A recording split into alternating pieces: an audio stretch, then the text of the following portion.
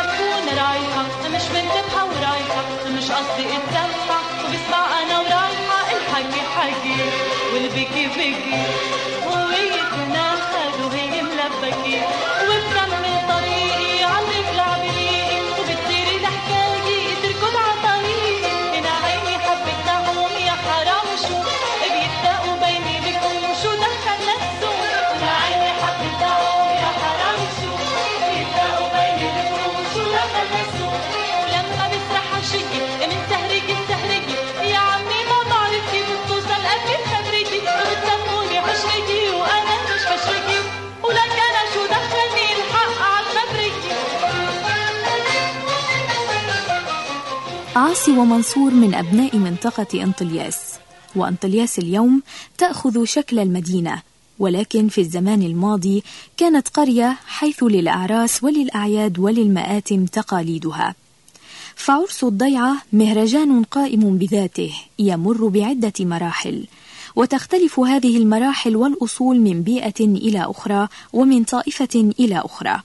حفلات الأعراس من تقاليد القرى اللبنانية التي تعود إلى أزمنة بعيدة. ولذا استعان الرحبانيان بهذا الاحتفال الفولكلوري ونقلوه إلى المسرح. هذا العرس الذي يصفه أحد البحاثة جون دوفينو بالاحتفال الحقيقي الذي يصبح عندما ينتقل إلى المسرح احتفالا مؤجلا. من العرس استعان المسرح بالأهازيج والآلات الموسيقية والزلاغيط والدبكات والأشعار المرتجلة ليكون العرس في ساحات القرى مشهدا مسرحيا خالصا تتولى إدارته وتنسيقه العفوية الشعبية. ولذا ما على الفنان الحقيقي إلا أن يحافظ على هذه الحميمية بنقل العرس إلى المسرح ليكون لديه مشهد متكامل العناصر.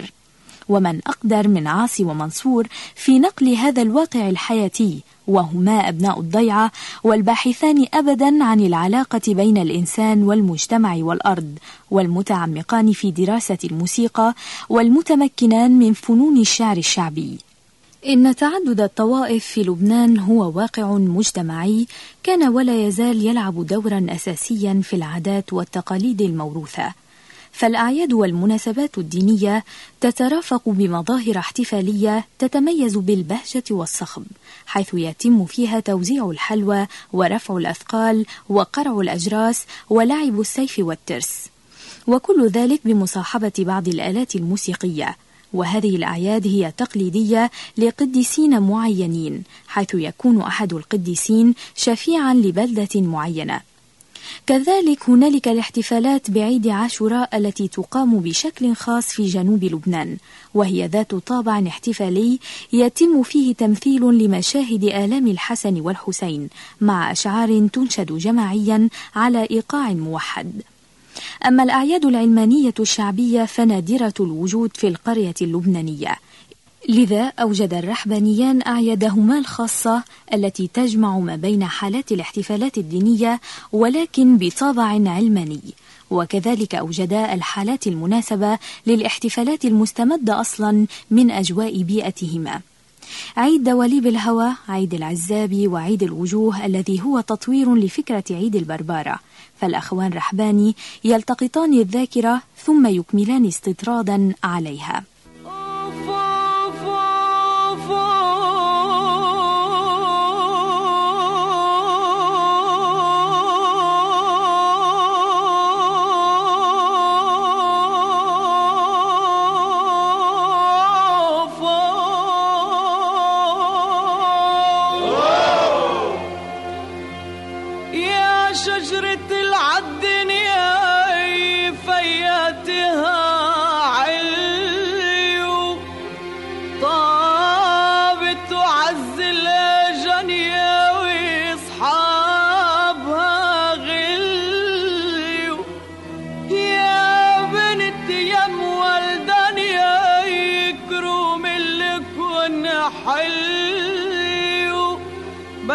بيجي هالسنين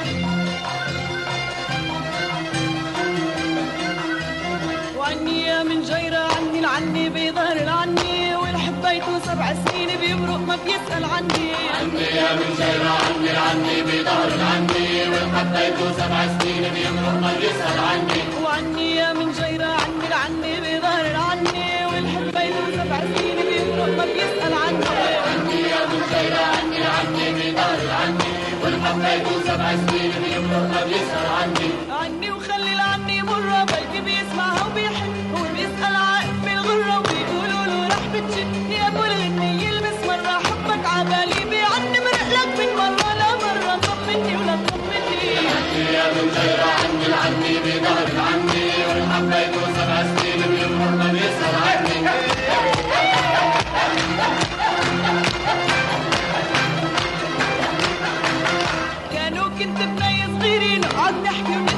يلي وين بدك تطيري بدنا نجيبك لعنا ومن يوم اللي صرت كبيرة وبالجيرة حكيوا عنا والعد بيني وبينه غيري. جنة وراح يجنني عني يا من جيرة عني العني بظهر العني والحبيته سبع سنين بيمرق ما بيسأل عني. الزجل أحد الفنون الشعبية الأصيلة التي يعرفها اللبناني ويمارسها أكثر من غيرها.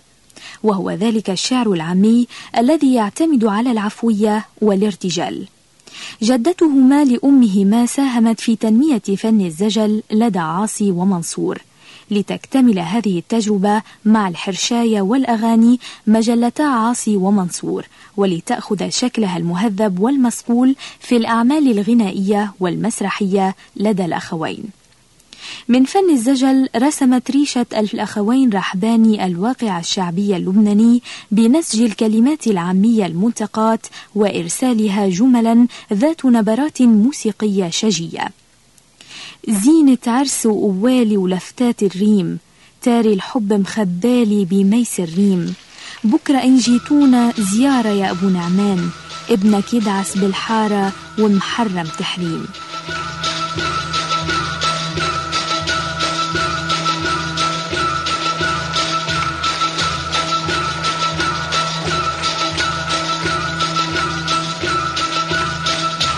أوف أوف أوف أوف. زينة عرسه أول ولفتات الريب. دار الحب مخبالي بميس الريب زينة عرسه أول ولفتات الريب. دار الحب مخبالي بميس الريب بين الرايح والجاي لعندك ملهوف. اختلفوا انت مخباي وصرصح بسيوف مخباي وصرصح بسيوف هولة تنامي يا حلواي جايك ضيوف. هلا كنت مضواي ليش التعتيم زينة عرسه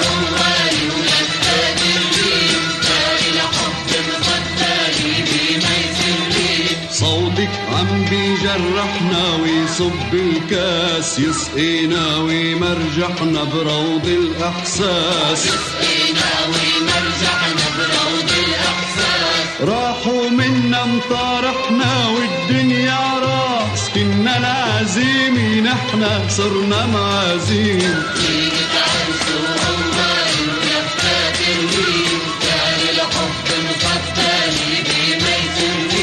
لا تلوميني يا جارة جارك عشقان.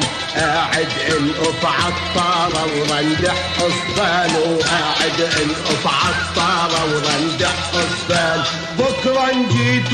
زيارة يا أبو نعمان ابنك يدعس بالحارة محرم تحريم. زينة عرسه أول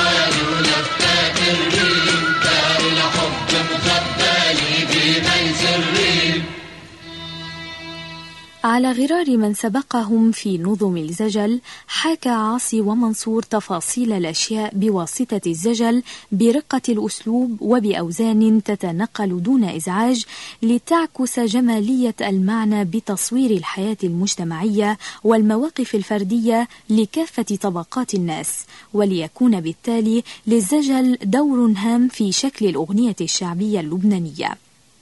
إذا كان الزجل قد وصل إلينا عن طريق أول زجلية صاغها زجال اسمه سليمان من قرية أشلوح وصف فيها خراب طرابلس حين طرد الصليبيون منها وذلك في نيسان عام 1281 ميلادية. يقول المؤرخ لحد خاطر مرتكزا على محفوظات مكتبة الفاتيكان تحت رقم 214 و 231 إن هذا الزجل قد تطور مع السنين في الصلوات والطقوس والمناسبات حيث لمعت أسماء مثل مخايل فريجي من مزرعة كفر ذبيان والراهب كامل جاي من كفرتية وتبقى ذاكرة الأسماء تروى بالأشعار المروية وغير المدونة أسماء لمعت في القرن التاسع عشر مثل مخول الشكر وأبو فرح المعلوف ويوسف الحاج ونصيف نسار وبشارة البشاموني. هؤلاء الشعراء مهدوا لرعيل جديد في مطلع هذا القرن. اكتسبوا من خبراتهم واستحوذوا على هذا الفن وصاغوا أسجالا لا تزال إلى اليوم تعتبر مثالا لكل الشعراء. من هؤلاء رشيد نخلي الذي وضع النشيد الوطني اللبناني فيما بعد. أسعد الفغالي المعروف بشحرور الوادي خليل روكوز وعلي الحاج. ولعل هذا الجيل هو أول من بدأ المحاولات لتأسيس مسرح غنائي مرتكز على تقنية نصه على الزجل. ففي عام 1947 كان الشاعر الزجلي أسعد سعيد في زيارة للقدس فطلب إليه صبري الشريف وكان مسؤولا في إذاعة الشرق الأدنى أن يكتب قصة ذات حوار شعري يصلح للغناء. لكن التجربة لم توفق وتكررت التجربة مع ويليام صعب وشحرور الوادي وأنيس روحانة وعلي الحاج وطانيوس حملاوي. لكن كل هذه التجارب لم تحمل الشروط الواجبة لنص مسرحي غنائي. الأخوان رحباني استفادا كثيرا من هذه التجارب لتأتي فيما بعد تجربتهما من خلال مقدرتهما الكتابية. وتجاوز الأخطاء التي وقع فيها السابقون. من العوامل التي ساعدت على إضفاء الشكل المعروف للأغنية والحوار المسرحي لدى الأخوين رحباني تجربة مسرح القرى. فاستفادا من هذه التجربة ونذكر من هذه التجارب مجهودات جمعية التعاون التي تأسست عام 1926 في بلدة وادي شحرور. وقدمت مسرحيات مثل لولا المحامي لسعيد تقي الدين عام 1926 المروءة والوفاء عام 1927 وبنت مسرحا خاصا بمجهود أعضائها. كما أن كل الأعمال المسرحية قدمت بمرافقة موسيقية. وتذكر محاضر الجلسات أن فرقة الأخوين فليفل شاركت في إحدى هذه المسرحيات. فالموسيقى إذا كانت عنصرا مرافقا لكل المسرحيات في القرى. تقريبا هذا ما شجع الأخوين رحباني منذ بداية حياتهما للولوج إلى ميدان المسرح ليس بالكلمة والشعر فقط بل بالكمنجة والعود والبزق وكافة الآلات التخت الشرقي. وليصبح هذا المسرح هاجسا إبداعيا لديهما. وظهرت السكتشات الغنائية في البدء ومن ثم المسرحيات الغنائية. وليظهر معها شخصيات قروية محببة مثل سبع ومخول والمختار والصياد التي هي حقيقة آتية من عوامل تجربة غنية عاش عاصي ومنصور دقائق تفاصيلها. انتي ضربتيني كف. شو الهي آخر بتبكير ما حدا بيضربني كف. وعلم براقبتك شهر. بعدك عانيدة وجفصة وبعدك كبرت شقفي. لو انك أحسن من هيك ما كنت بقيتي بالبيت. كل عمري أحسن منك. كنتي أحسن ما أحكي. وشو بدك تقدر تحكي؟ دخلك خاتم الأزرق رديتي له يا الفضل. حاجي بقى تكتر حكي فستان الجاب والظابط دخلك رديتي له اياه ومنك ما قبلت هدية بدي بل من غيرك. نسيت صحاحير الليمون نسيت اكياس البطاطا نجي اسكت. أنت اسكتي بيك زعبر. بيك زور نشكر الله ما تجوزتك نشكر الله ألف مرة. نشكر الله ما تجوزتك نشكر الله ألف مرة. نشكر الله. ألف مرة. نشكر الله. ألف مرة. إذا كان المسرح الرحباني قد استعان بالزجل والأعياد والمناسبات ومسرح القرى فلا شك أن للقصة الشعبية وخرافاتها تأثيرا واضحا على تغذية مسرح ما الغنائي الذي ابتدأ على عتبات الفولكلور والتراث. فعاصي الذي يخبر خبرا واضحا عن الجن والأشخاص الذين لا يكبرون وعن عالم خيالي وأقاصيص الجدة في ليالي الشتاء عن الجان والعفاريت والقبضايات. كانت منبعا استقى منه الأخوان رافدا لكلمة تبقى في الأغنية والحوار والمضمون من مرتكزات وأساس الأصالة. لنا لقاء آخر مع الكلمة والشعر في الأغنية والحوار في حلقة قادمة. لدى الأخوين رحباني فإلى اللقاء.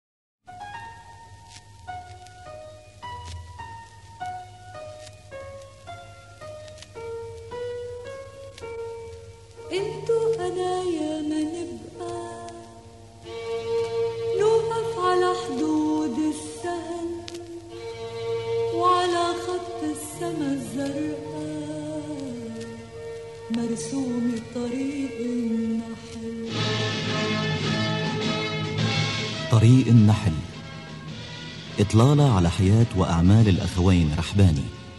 يعده هشام مشرفي تقدمه جيهان الملة.